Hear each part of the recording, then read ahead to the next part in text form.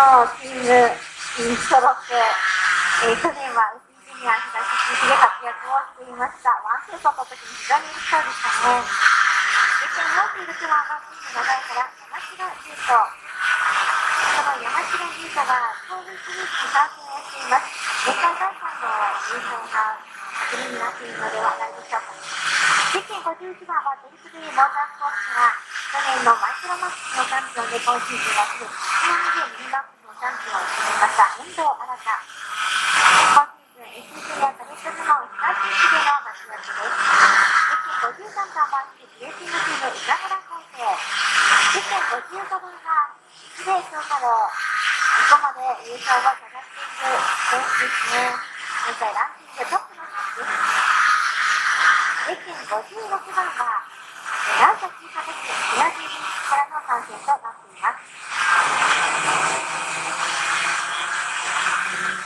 続きまして、原田カートクラブからのエントリーが、怪しい龍騎、鉄拳ナンバーは62番、崎はスリット。66番、ナビルーキから高沢かも。70番、イオリーから森谷エイト。72番、中心長原から先ほどご紹介しました。えー、小本海星の弟、橋本4兄弟なんだそうですよ。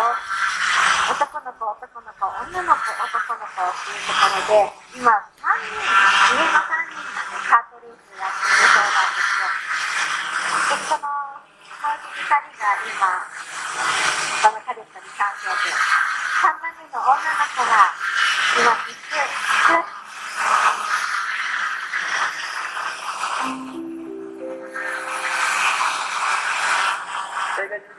ご案内いたします。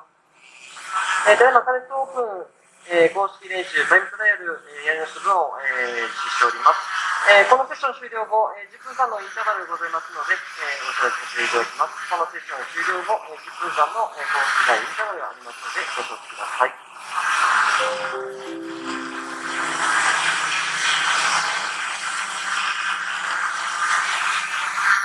バー84番は1番発で、86番先週、日ハムのチャンピオンを決めました、鈴木春風。93番、米津、米津優斗。94番が岩永大輔。以上のメンバーです。さあ、タイムトライアルの方、トップタイムは現在、中井優太郎、タイム57秒85に、2番手に鈴木春風です。だから、えー、そんな2位ですから、ここで2番手に食い込んできたのが関口俊。その差が100分の2秒差、今回コンマ2秒差、関口俊が、つけています。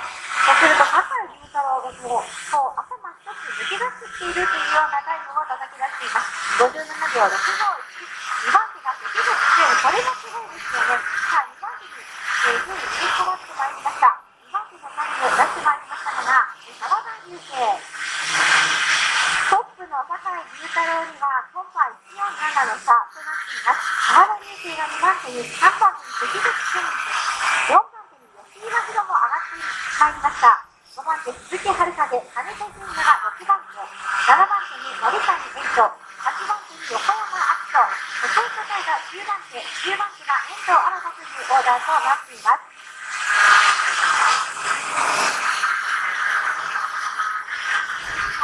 2番手タイムを出してきました。森谷エイトです。森谷エイトが酒井雄太郎に次ぐ2番手タイムをマーク。森谷エイト、これは、もう今シーズン初のこの順位じゃないでしょうか。これは期待が持てますね。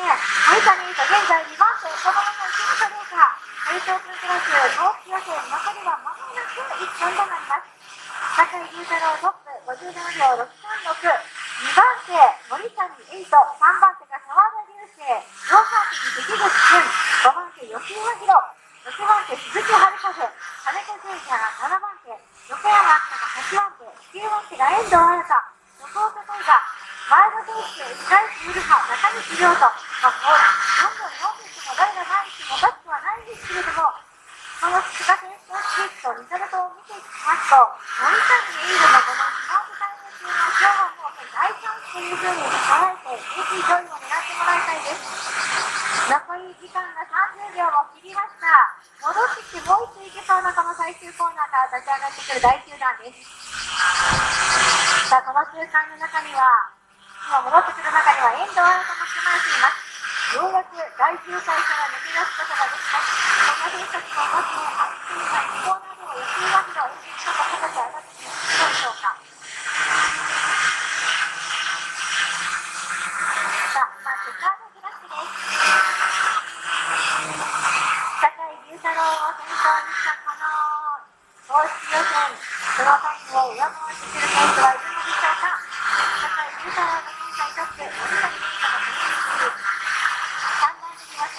にて、さあ、の、タイムアップにはつながりますけど、つながりますので、57秒59をマークしまして、さらに2番手以降を引き離しまして、トップタイム。